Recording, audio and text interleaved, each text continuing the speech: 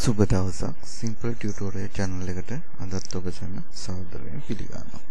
අද අපි කතා කරන්නේ අපි නිර්මාණය කරගත්ත ඉමේජ් එකකට කොහොමද අපි අපේ තොරතුරු ඇතුළත් කරන්නේ කියලා. මට මතකයි අපි අපි කතා කළා ෆයිල් එක ඉමේජ් එක අඩංගු තොරතුරු බලාගන්නේ කොහොමද කියලා. ඒකට අපි ෆයිල් ගිහිල්ලා මෙන්න මේ browsing breach කියන එක කරා ගියාම අපිට ගොඩක් ලොකු විස්තරයක් ඉමේජ් එක ගැන බලා ගන්න පුළුවන්.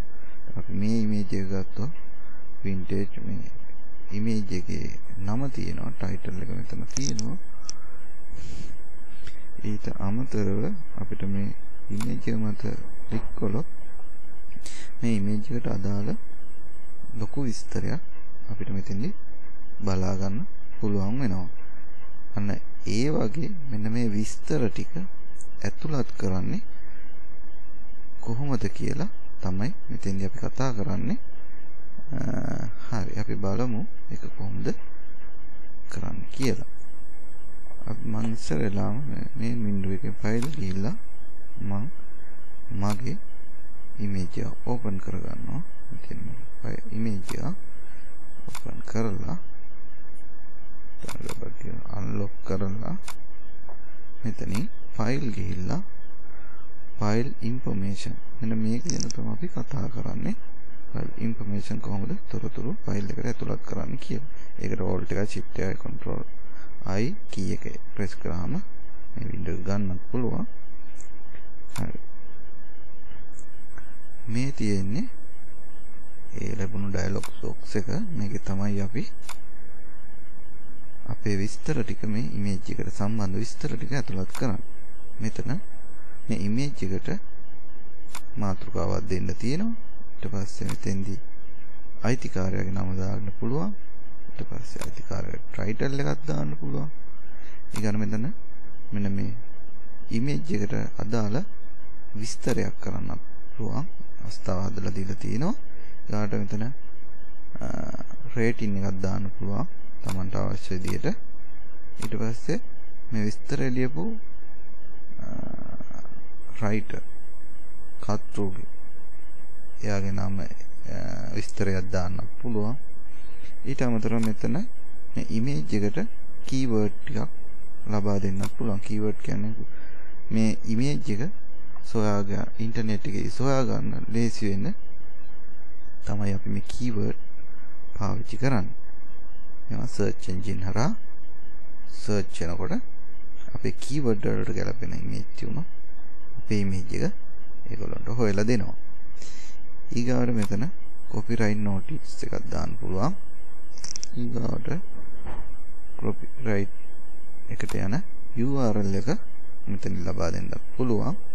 ඒ ටික කරලා අපිට ඊළඟට තියෙන මෙන්න මෙතන පුරවන් ටිකක් දැන් ක්‍රියේටර් ඒ කියන්නේ අපේ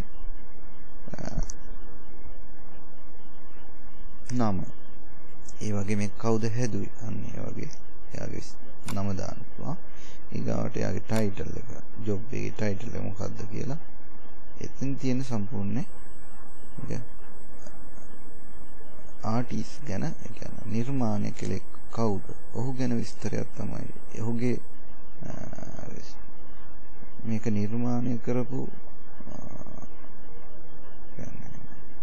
ඔයා හෝ ඒ ඒ නිර්මාණයට සම්බන්ධ නිර්මාණකරුවගේ ඩීටේල්ස් ටිකක් තමයි මෙතන ඇඩ් කරන්න ලැබෙන්නේ. ඒකවල මෙතන ඇඩ්‍රස් එක, සිටි එක මේ ටික ඔයගොල්ලන්ට තේරෙනවා. ස්ටේට් එක, පෝස්ට් කෝඩ් ඔය ටික දාන්නවා. ෆෝන් නම්බර් එක දාන්න තියෙනවා. ඊමේල් වෙබ්සයිට් එකක් තියෙනවනම් ඒ වගේ වෙබ්සයිට් එකක් දාන්න පුළුවන්. දාලා මෙන්න මේ වගේ ඉන්ෆෝමේෂන් ටිකක් අපිට ඇතුළත් කරන්න අවස්ථාව ලබා දීලා තිනවා. තවත් තියෙනවා ටිකක්. ඒ ටිකත් ඔයගොල්ලන්ට බලලා ඕනිමයි කියලා හිතෙනවා නම් ෆිල් කරන්නත් පුළුවන්. ෆිල් කරලා මෙතනින් ඕකේ කලහට පස්සේ අපි මේ ඉමේජ් එකට ඉන්ෆෝමේෂන් ටිකක් දෙනවා.